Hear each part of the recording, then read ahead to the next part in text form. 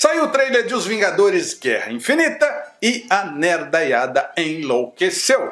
Faz tempo que eu não faço comentário de trailer, então eu decidi fazer de Guerra Infinita, pois o hype tá gigantesco e eu acho que isso pode render alguns views. Antes de qualquer coisa, dê um joinha, curta esse vídeo, vamos atingir pelo menos 5 mil curtidas. Essa é a meta desse vídeo e só você, que é a pessoa mais sensacional do universo, pode me ajudar. Para variar, o trailer foi montado com cenas em uma ordem aleatória, então não vamos perder tempo e eu vou começar a tentar descobrir aqui o que vai acontecer. Não sei, vazou alguma sinopse do filme já? Vocês já sabem o que vai acontecer? Porque eu faz tempo, tô numas de não ver notícia ou trailers ou ver vazamento de informações sobre o filme para não estragar a minha experiência. Aliás, foi por isso que eu parei até de comentar trailers. Pois é, Aqui estou eu de volta para comentar Guerra Infinita. O trailer começa com uma tomada espacial, parece que está rolando uma tempestade lá na Terra, tem umas nuvens, uns raios ao fundo.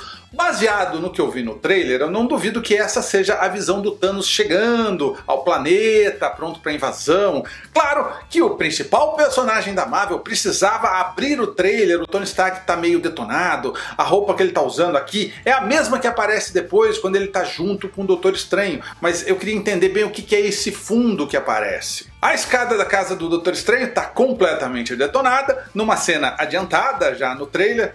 Então a gente pode chutar aqui que o Hulk caiu do espaço nela, será que é isso? Notem que o Wong e o Doutor Estranho eles fazem cara de surpresa pela chegada do Hulk e prestem atenção que tem um buraco no teto. Mas será que é isso mesmo que acontece? Tem uma cena depois que aparece o Banner vestido na escada detonada lá atrás com uma roupa preta junto com outros personagens que deixa parecer que ele se vestiu depois de ter quebrado tudo, ou o trailer tenta nos enganar? Visão e Feiticeiro Escarlate, reza a lenda que eles vão ter filhos, a Marvel estava até procurando por crianças gêmeas para o filme, e a internet já afirmou que essas crianças fariam o papel dos dois filhos imaginários do Visão e da Feiticeira Escarlate. O Visão tá meio humano, aqui ele não é tão robô, ele tá com cabelo e tudo, e ele ainda tá com a joia da mente na testa.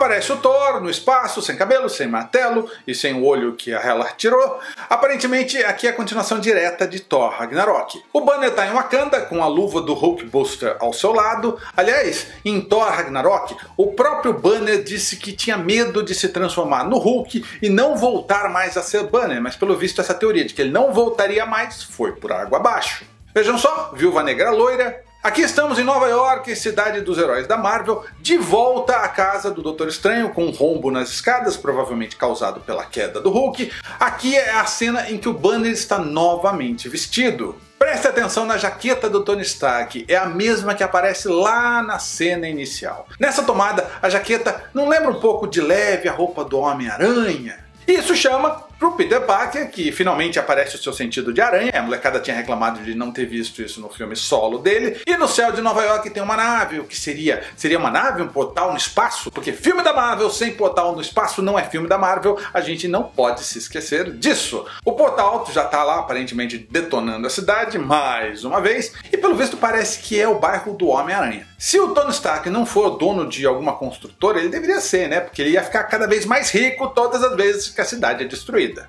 Doutor Estranho, Banner, Stark Wong agora na rua, prontos para a luta. Vale lembrar que o olho de Agamotto, aquele medalhão que está no peito do Doutor Estranho, é a joia do tempo. Essa roupa do Tony Stark ainda está chamando atenção demais. Tem alguma coisa estranha nela. Nessa cena rápida, eu não tenho ideia de onde foi feito o estrago, mas não me parece que é Wakanda ou os Estados Unidos. Parece até que é o Tibete, onde o Doutor Estranho treinou pelas roupas das pessoas que estão no chão. E essa bota que passa, será que é o Barão Mordo? Se você tiver algum chute, deixe a sua resposta nos comentários. O Loki e o Tesseract, que é a joia do espaço, dizem as informações vazadas que o Loki vai negociar o artefato com o Thanos. O Thanos aparece pela primeira vez no trailer, mas sem o elmo. Por que, que raio a Marvel odeia personagem com elmos e capacetes? Isso tira pelo menos metade do impacto visual do personagem. Que pena! Pelo menos o CGI tá legal e não tá assim tão escuro. Também faz quase 10 anos que eles estão planejando Thanos, cujo visual nunca é o mesmo de um filme para outro quando ele aparece. O Aranha com o uniforme criado pelo Tony Stark, meio armadura com olhos que acendem, provavelmente pendurada naquela nave portal que a gente viu no alto de Nova York. O Thor sem o olho direito, tentando segurar ou fechar algum portal ou equipamento galáctico. Pela força que ele está fazendo, é uma cena importante. A minha aposta é que ele vai passar a maior parte do filme no espaço e nessa cena ele vai tentar evitar que Thanos envie mais alienígenas para a Terra. Wakanda é um dos centros da ação do filme, já que é lá que está a joia da alma, tão importante para o Thanos. Uma personagem atira uma lança no Pantera Negra, quem será que é essa personagem? Me ajudem. A cena ela serve para fazer a entrada triunfante do Pantera Negra. O T'Challa manda alguém dar um escudo novo pro Capitão América em uma cena que deve rolar depois da batalha que a gente vê no final do trailer, já que lá na batalha o Capitão tá sem o seu escudo que foi tomado pelo Homem de Ferro em Guerra Civil. Tira esse escudo que você é moleque! Não é por nada não, mas esse trailer poderia muito bem ter sido dirigido pelo Zack Snyder. Tem um monte de cenas escuras, tá tudo muito dark.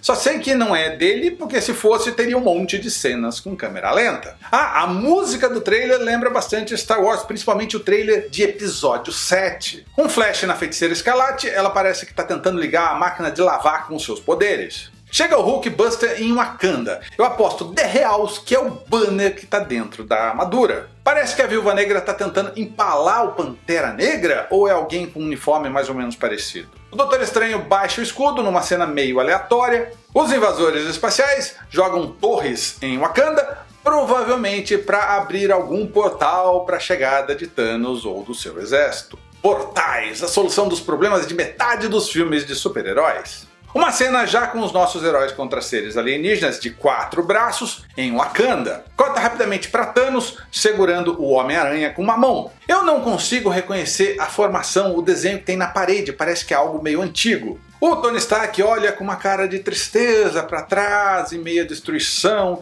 A roupa parece com a primeira cena quando ele está em Nova York com o Doutor Estranho, mas perceba que a gente não consegue ver aqueles detalhes vermelhos. Os alienígenas da Ordem Negra do Thanos retiram a joia da mente da testa do Visão, aqui ainda com aparência de robô. O Thanos coloca a joia do espaço, que está dentro do Tesseract, na manopla do infinito. A joia da mente, retirada do Visão, ainda não está nela. Essa joia rosa que está na manopla é a joia do poder? Se sim, então ele já poderia ter pegado essa joia dos Guardiões da Galáxia. O Thanos dá uma bela porrada no Homem de Ferro. Notem que na hora que ele dá a porrada, ele ainda não colocou a segunda joia na manopla. Não dá para saber aonde essa luta acontece, mas eu não duvido que seja em outro planeta. Notem que o fundo é o mesmo da primeira cena do trailer onde aparece o Tony Stark. Deve ser por isso que a gente não vê muito o Homem de Ferro no trailer. O Soldado Invernal, junto com o exército de Wakanda, pronto para enfrentar o exército de Thanos.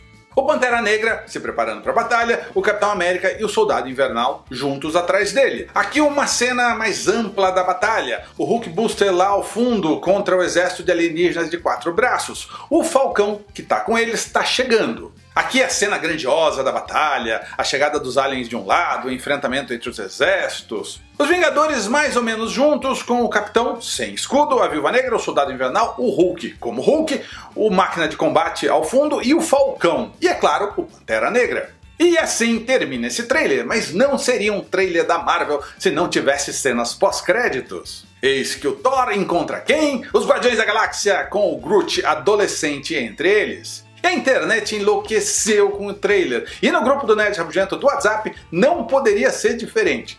Escutem isso! Mano do céu, que trailer, eu tô passando mal, literalmente. Eu tô passando mal, tô, tô vendo, tava vendo o trailer no meio da rua, no meio da escola, no meio da aula, vi o trailer, tô nem aí, céu.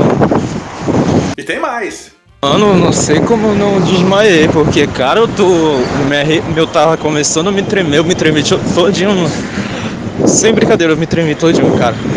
Eu acho muito fofo os nerds passando mal por causa de um filme de super-heróis. Se vocês quiserem entrar no grupo do Nerd Rabugento no WhatsApp, o link tá na descrição do vídeo e vocês todos são bem-vindos. Vão lá! Quantas horas de duração vai ter Guerra Infinita para caber tudo o que queremos ver? Deixe a sua resposta nos comentários e inscreva-se no canal Nerd Rabugento. Eu tenho pedido nos últimos vídeos para vocês me seguirem no Instagram e parece que vocês, que são lindos e sensacionais, atenderam e o número de seguidores deu um pulo enorme. Eu ainda não atingi a meta, que são 10 mil seguidores, então se você que assiste esse vídeo agora, pessoa de bom coração, que quer que o canal cresça ainda mais e ainda não me segue no Instagram, por favor, vai no link que tem na descrição, clica lá e me segue no Instagram. Mesmo que você não use o Instagram, se você tem conta, me segue. É uma estratégia que vai ajudar o canal a crescer e você é o único que pode me ajudar com isso. E se você curtiu o conteúdo do canal, pois aqui no canal a gente só tenta fazer bons conteúdos, considere se tornar um apoiador. Visite o Apoia-se e contribua. Com certeza isso vai ajudar bastante. E se você quiser continuar a assistir aos outros vídeos do canal, tem outras playlists para você explorar. Clique em uma delas e divirta-se.